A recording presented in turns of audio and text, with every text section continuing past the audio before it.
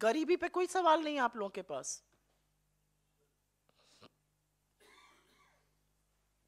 इतना बड़ा झूठ इस सरकार ने बोला, इतना बड़ा झूठ परोसा गया।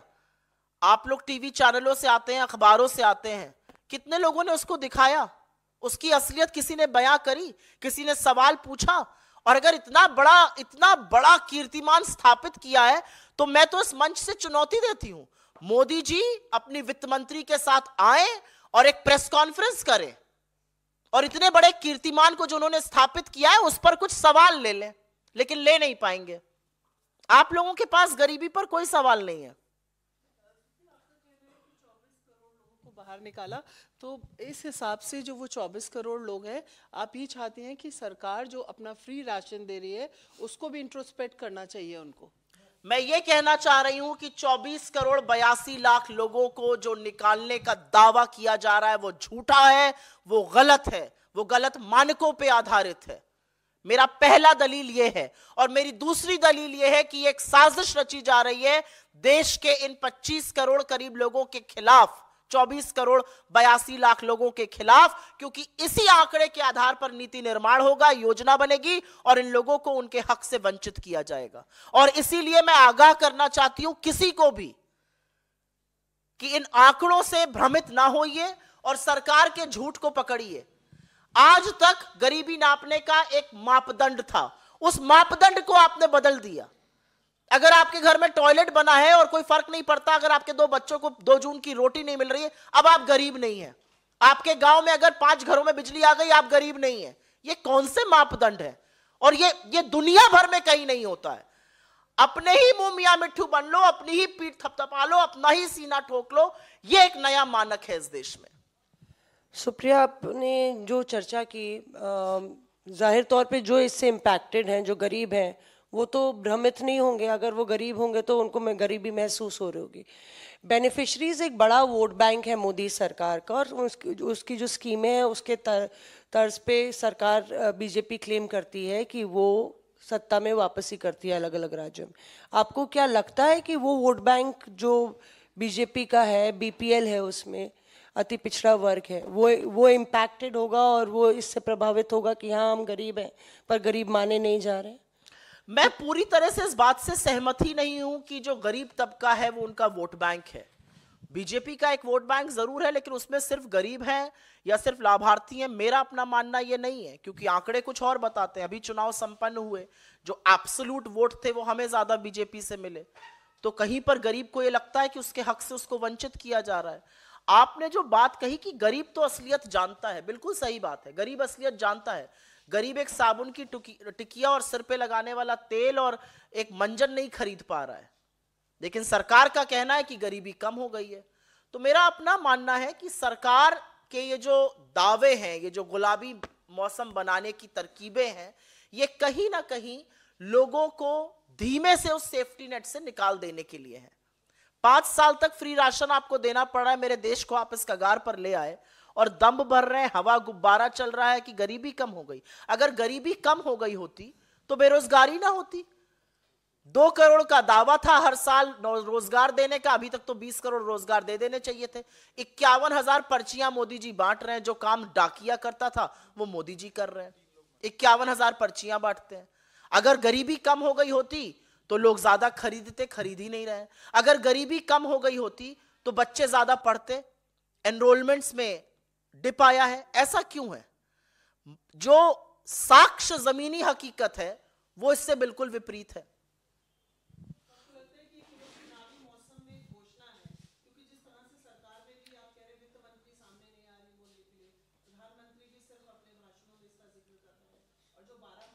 आपको नहीं लगता कि नीति आयोग ने एक रिपोर्ट निकाल दी? आपसे मैं एक रिपोर्ट प्रिपेयर करने को कहूँ, आप थर्ड पार्टी को भी इन्वॉल्व मत करिए। आप एक रिपोर्ट निकाल दीजिए। और रिपोर्ट निकालने के बाद आप खुद ही सर्वे कर लीजिए, खुद ही अनुमान लगा लीजिए, खुद ही रिपोर्ट रिलीज़ करा दीजिए और अपने प्रधानमंत्री से उसको, प्रधानमंत्री इसके बारे में बात कर रहे हैं। मतलब सरकार की कोई एजेंसी तो कहे, लेबर मिनिस्ट्री तो आकर कहे कि हाँ हमने इतना रोज़गार दे दिया। वित्त मंत्रालय तो आके कहे वित्त मंत्रालय एनएसएसओ के आंकड़े बिल्कुल दूसरे डायरेक्शन में है। कंजम्पशन गिर रहा है, आधा हो गया पिछले साल से। और यहाँ कहा जा रहा है कि गरीबी बिल्कुल कम हो गई है। तो मेरा मानना यह है कि ये झूठ जो रचा जाता है वो बड़ा हानिकारक है। लेकिन वो झूठ चुनावी मौसम में और रचा जाएगा ये भी आगाह करना ज़रूरी है।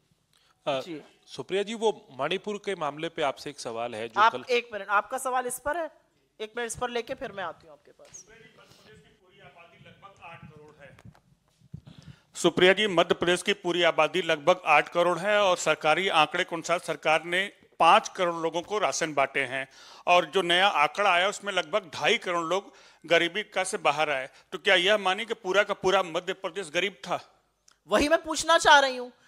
जो जो राज्यों के आंकड़े आए हैं, उसमें से यूपी और मध्य प्रदेश प्रमुख तौर पे बड़ा अग्रसर होता दिख रहा है। और वहाँ पर आपको ज़्यादा फ्री का राशन बांटना पड़ रहा है। ऐसा क्यों है? हम इसका समर्थन करते हैं। राहत का काम होना चाहिए। सरकार वेलफेयर स्टेट में इसी काम करने के लिए इलेक्ट होती है। लेकिन इस तरह के झूठे दावे करके आप गरीबों का तो मज़ाक बना रहे हैं। आप पूरे देश को मूर्ख समझकर उनको और मूर्ख बनाने का काम बंद कर दीजिए। और अपने आप को, एक हुडविंकिंग शब्द होता है अंग्रेज़ी में, अपने आप को भी मूर्ख बनाने का काम बंद कर दीजिए, क्योंकि इन्हीं आंकड़ों पर आप नीति निर्माण करिएगा। जी। झूठा दावा कर रहा है सामने ही इलेक्शन है। तो ये तो अल्टीमेटली आप आ- आपको ही पॉजिटिव वाइब देगा और आप लोग इसको पॉलिटिकली कैसे मतलब इसको इसको चैलेंज ये चैलेंज जो है पॉलिटिकली कैसे इसका आप मु- मैं इस मंच से क्या कर रही हूँ? मैं पॉलिटिकल चैलेंज ही तो कर रही हूँ। राहुल गांधी जब भारत जोड़ो न्याय यात्रा लेके निकलते हैं और वो गरीबों से वंचितों से शोषितों से स्टूडेंट से महिलाओं से लगातार मिलते हैं तो वो क्या कर रहे हैं? वो इन दावों का की का पर्दाफाशी तो कर रहे हैं। वो लोगों को न्याय दिलाने, किस चीज़ से न्याय की हम बात कर रहे हैं? हम सामाजिक न्याय की बात कर रहे हैं, हम आर्थिक न्याय की बात कर रहे हैं, हम राजनीतिक न्याय की बात कर रहे हैं। क्या है आर्थिक न्याय? आर्थिक न्याय यही तो है कि बेरोजगारी कम हो। आर्थिक असमानता की जो खाई हो वो पाटी जाए। महँगाई जो सिर चढ़कर लोगों की कमर तोड़ रही है, उसको कम किया जाए। ये इसी सब का हिस्सा है। आज गरीब गरीब होता जा रहा है। इनकम टैक्स के आंकड़े देखिए। पाँच लाख से कम कमाने वालों में ग्रोथ रेट मिनिस्क्यूल। और एक करोड़ से ज़्यादा कमाने वाले में सबसे ज़्यादा वृद्धि। ये तो आर्थिक असमानता का पैमाना है ना, इसी के खिलाफ तो हमें, इसी अन्याय के खिलाफ तो हम न्याय दिलाने की मुहिम लगा रहे हैं। जी, आपका सवाल था। इनसे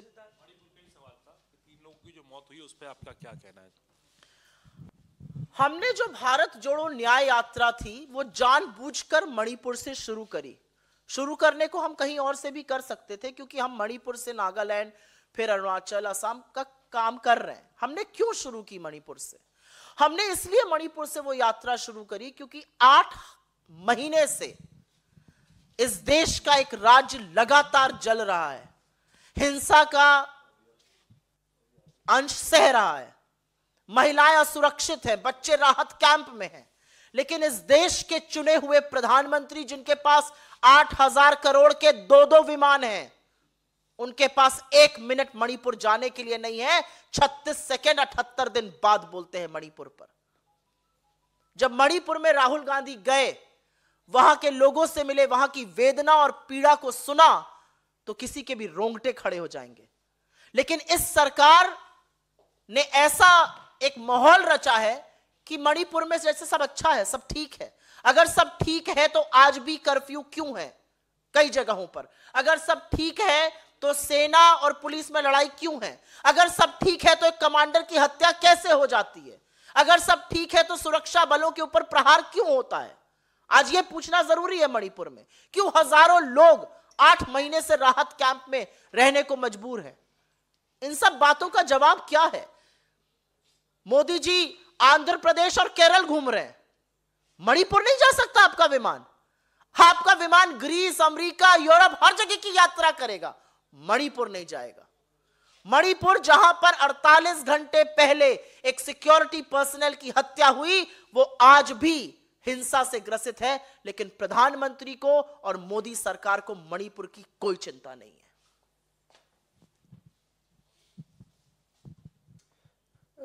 सुप्रिया, ये सवाल आपके मीडिया डिपार्टमेंट से रिलेटेड है। अभी एक नोटिस हम लोग ने देखा है, जो कारण बताओ नोटिस आलोक शर्मा जी को जारी किया गया है। उनके कुछ उन्होंने बयान दिया था कमलनाथ पर। क्या तो, किया गया? आलोक शर्मा जी को कारण बताओ नोटिस दिया गया है। उन्होंने कमलनाथ पर अ, अ, कुछ टिप्पणी की थी कि वो बीजेपी के साथ अ, जो है उन्होंने कांग्रेस को हराने का काम किया है मध्य प्रदेश मुझे इसके बारे में कोई जानकारी नहीं है और मैं देखूँगी ये क्या बात है और उसके बाद इस पर बिल्कुल टिप्पणी दूँगी अपनी। और एक जो मामला आ रहा है अंकिता गुप्ता का राहुल गांधी की यात्रा असम पहुँच रही है और वहाँ पे पोस्टर बैनर्स लगे हैं। अंकिता गुप्ता ने कहा कि वो प्रोटेस्ट करेंगी उन्होंने आरोप लगाया था। उत्पीड़न का श्रीनिवास आपके आए वैसी प्रेसिडेंट है उन पर। मेरे लिए ना ये थोड़ा सा व्यक्तिगत विषय है क्योंकि कांग्रेस पार्टी से ज़्यादा महिलाओं का सम्मान और महिला सुरक्षा का दावा अन्य कोई पार्टी कर नहीं सकती है। हमारे यहाँ जिस तरह से महिलाओं को सुरक्षित रखा जाता है, जिस तरह से उनको अभिव्यक्ति की आज़ादी है, वो किसी और पार्टी में नहीं है। जिस मामले का आप ज़िक्र कर रही हैं, क्योंकि वो कोर्ट में में लंबित है, मैं उस पर बहुत कम टिप्पणी करना चाहती हूँ।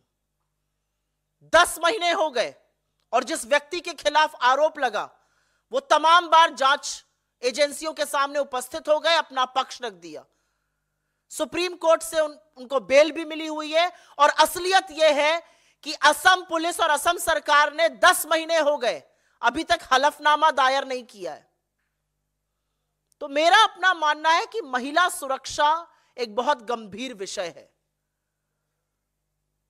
उसके साथ खिलवाड़ नहीं करना चाहिए। जो भी हेमंत बिस्व शर्मा या कोई राजनीति से प्रेरित करके करता है, वो सर्वथा गलत है। कोई और सवाल? बहुत बहुत धन्यवाद आप सबका। इस देश के गरीबों की आवाज़ बनिए और इस बात को उन लोगों तक पहुंचाइए जिनको लगता है कि किताबी दावे कर कर, झूठे दावे कर कर वो इस देश को भ्रमित कर देंगे। बहुत धन्यवाद आप लोगों का।